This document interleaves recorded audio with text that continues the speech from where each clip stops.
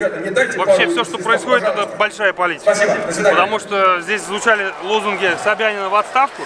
Это и есть политика. Я считаю, что слово надо было, конечно, дать всем, но это дело организаторов.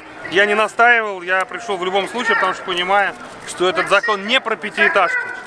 Этот закон, который фактически разрушает государство и фундамент нашего, нашей страны. Это базовое конституционное право, право собственности.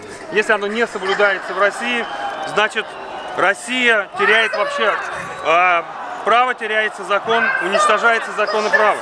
Я здесь, потому что я знаю прекрасно, что этот закон вводит принудительное, принудительное выселение, без права обжалования в судах.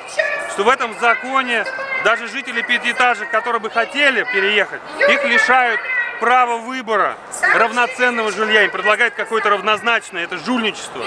Им их лишает права денежной компенсации, получения денежной компенсации. Это митинг не про снос. Это митинг э, в поддержку нашего конституционного права собственности, самого главного. А этот закон и против москвичей, и против жителей других регионов, потому что э, он федеральный закон, он будет действовать для всех. Этот закон и против жителей пятиэтажек, и против всех остальных. Под определение попадает любое здание. Любой. Кремль попадает, Мавзолей попадает, пятиэтажка на Тверской 13 попадает под действие этого закона. Вы посмотрите список приговоренных домов, там Сталинки, кирпичные дома, там э, историческая застройка самых престижных районах Москвы.